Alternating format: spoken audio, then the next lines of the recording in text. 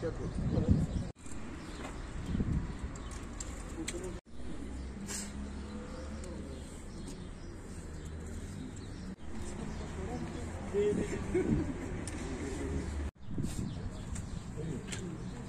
تفتيش مسكن المشتبه فيه.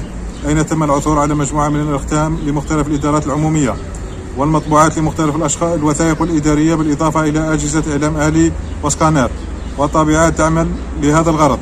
المعني كان يقوم بتزوير وثائق إدارية ومنحها للمواطنين لإيداعها في مختلف المؤسسات الإدارية وكان يقوم بنسخ نماذج المطبوعات في جهاز الإعلام الآلي باستعمال جهاز سكانر ثم طبعها بعد تدوين المعلومات الخاصة بالزبائن. تم على إثر هذه العملية توقيف الشخص المشتبه فيه وحجز كل الأختام والوثائق والآلات المستعملة في عملية التزوير.